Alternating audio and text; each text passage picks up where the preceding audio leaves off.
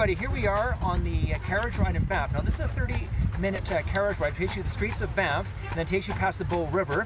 Now uh, right now we're on the early part of the tour. This is Banff Avenue, main drag of Banff. Now if you look behind you there, that's Banff Avenue there, and that mountain in the background, that is the iconic mountain you see in all the postcards of Banff. Okay, so right now, as I said, we're heading out to the Bow River Bridge. When we get to the bridge, we will talk then. Go. Hi everybody, here's the bridge in the back of the Bow River. Now that's the Bow River right there. Now for those of you who don't live in Alberta and don't know, the Bow River goes through Banff and it goes through Calgary. It's not an overly deep river, but it's very, very scenic. Okay, so when we get to the next stop, we'll talk then. Hi everybody, here we are further out. Now we're actually on part of the highway right now. Look down there, look at this. You can see, you can see some nice trees in the highway there. And there we go. Now we're heading back into Banff and we'll talk then. Hi everybody, here we are uh, winding down the tour. Now you can see a bit of the Bow River in the background right there.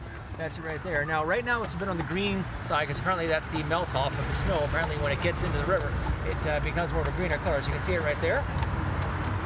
Okay, now uh, one thing they say about the Bow River is very, very cold. So I don't think I have any intention of swimming that river. Okay, so right now we're heading back uh, into uh, the town or city whatever you want to call it. Okay, and that was the tour. We hope you've enjoyed.